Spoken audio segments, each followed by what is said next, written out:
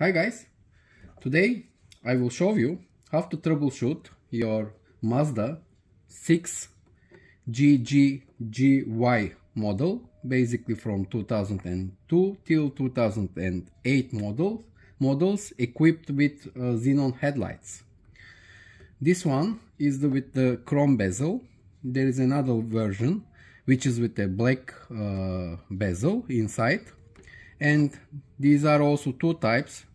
The one with the integrated fog uh, light with a projector fog light and the one without the projector fog light. This one doesn't have a fog light uh, projector. It's a dual light so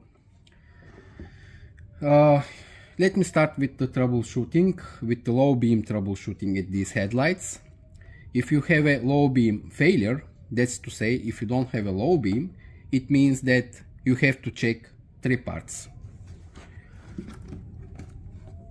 Your xenon system at these headlights are consist of three parts as stated.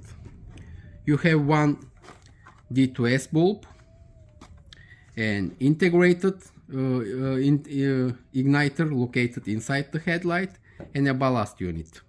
These, true, these three parts consist of your xenon system. Let me show you how they work in practice. As, as you can see, the ballast unit generates the needed uh, voltage and sends it to the igniter and in igniter in turn powers the xenon bulb, the xenon gas inside the HID bulb. So if you don't have a low beam, one of these three parts is faulty. Let me show you their location in the headlight. Here you have a back cover. Uh, by the way, uh, I have to mention that according to the official service Mazda manual, workshop manual, in order to replace your xenon bulb, your uh, xenon ballast, you have to take off all the headlight from the car. That's mean the official Mazda workshop service manual says that you have to remove the bumper and you have to remove the headlight altogether from the car. Although there are a lot of videos out there at YouTube, you can also see them. You can try to replace if you are sure that your your faulty part is the xenon bulb, you can try to replace it uh, via gaining access under the wheel arc of your car, uh, removing the fender and trying to reach your back cover from the wheel arc. But as I stated, officially the, the most safest way in order not to break the, any part from the headlight, uh, Mazda takes off all the headlights from the car. Let me show you. You have to turn counterclockwise the back cover in order to see your xenon bulb and the connector of your xenon igniter. Here as you can see, in order to release the uh, xenon igniter connector, the socket, you have to turn it counterclockwise and pull it out. And then you will see your xenon bulb. The xenon bulb is fixed to your projector via the uh, retaining clip via ring.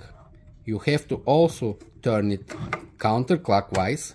The access is very limited. That's why as stated it's always better to remove your headlight altogether from your car I know it's very uh, time consuming and uh, a great hassle to do that, but unfortunately this is the only way. As stated, as showed you previously, your xenon bulb type is D2S type. D2S type. You can use any D2S type. Of course, always better to use uh, original products uh, not the aftermarket ones.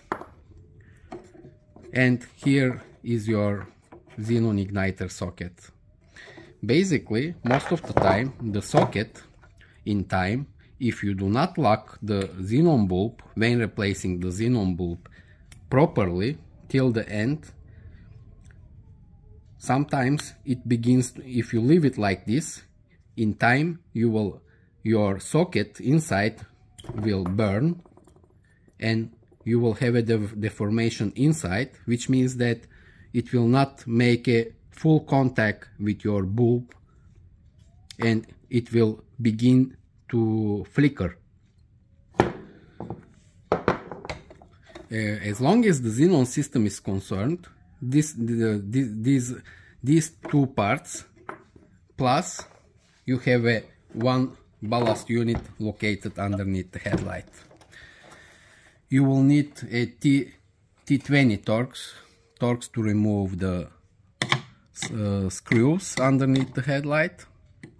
I already removed them in order to not to lose time. Here, this is the ballast unit. It is automotive uh, lighting made with a part number 1 307 329 086. 086 Litronic 4.1D is the ballast unit that Mazda 6 is, uh, uh, is using. There are a lot of other ballasts that you can use for this car. For example, this one is from Mercedes, from a very common model from W2203. This one is from BMW models, same shape, same plug ballast units. In this case, they are interchangeable. You can use them in order to replace your faulty ballast at your Mazda 6 xenon headlight. Uh, let me check whether I have forgot something to mention about the xenon system of Mazda 6. I think that's all for, the, for this uh, xenon system. If I have to summarize, if you have a low beam failure, one of these three parts is faulty, either your D2S type xenon bulb, your xenon igniter, which has a part number 1 307 329 080.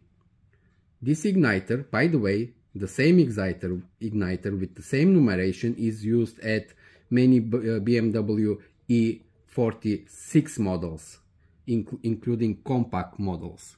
So if you have a faulty igniter, you can source it from the BMW xenon headlights.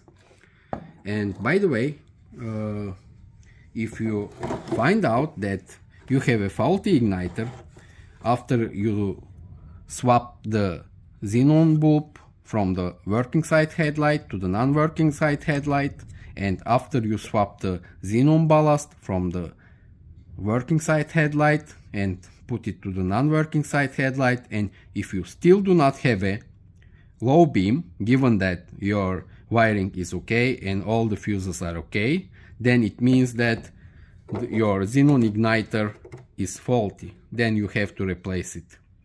The next video will be about how to replace this igniter unit igniter which is located as you can see inside the headlight basically you don't have a access to the screws, to the fixing screws in order to unscrew them. So you have to open the headlight altogether. You have to remove the lens and replace it. In the next video I will show you how to remove the lens and subsequently how to replace the xenon igniter. Thanks for watching guys. That's all for now. See you next in the next video. All the best. Bye bye for now.